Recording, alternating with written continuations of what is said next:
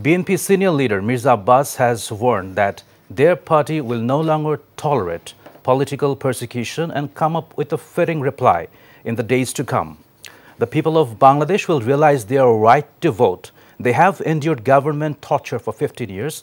They won't tolerate it anymore, he said. Speaking at a rally before starting the BNP's march from Uttaras Abdullapur towards Jatrabari in the capital, Abbas alleged that the Awami League cadres attacked BNP's peaceful march program in different parts of the country on Tuesday, killing a man and injuring many others.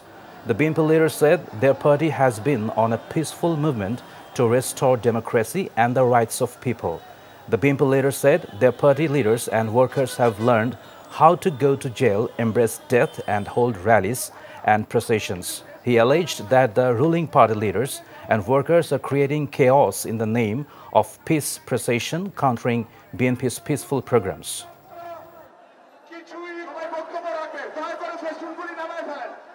আমার গণতান্ত্রিক অধিকারকে প্রতিষ্ঠিত করতে দিন আমরা মিছিল meeting করবো আর আপনারা বাংলা কলেজ থেকে আমাদের ইট পারবেন পাথর মারবেন আমরা ছেড়ে দেব এইটা তো হবে না ছেড়ে দেওয়ার দিন শেষ এখন খালেদা জিয়ার বাংলাদেশ, তাহলে সাহেব বলছে সংবিধানের বাইরে আমরা এক তুলনার চোর করব না।